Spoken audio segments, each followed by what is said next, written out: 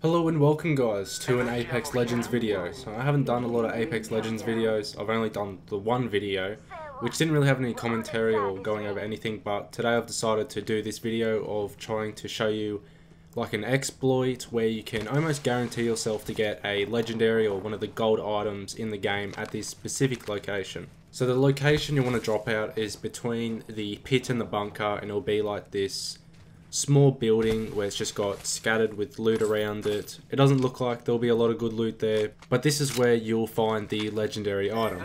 So I made sure to keep progress of the next 10 times I land here to see how many times I would get a legendary item and how many times I wouldn't. So I'm going to go over a quick compilation of the sort of gold items I got while landing here and there was a couple times I didn't, but I can't really show you that since there was nothing to really show. So here's all the clips of the times I got a gold landing at this spot 10 times.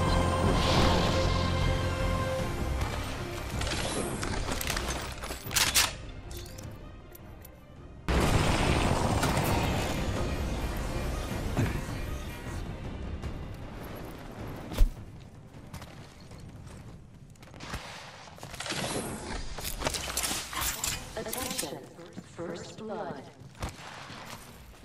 Right, let's do this thing.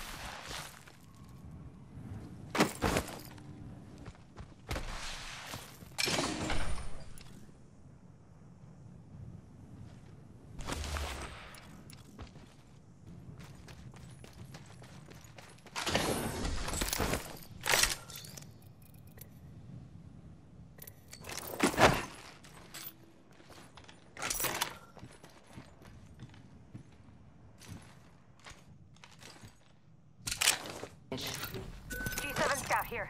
Care package coming in. Giving my shields a recharge.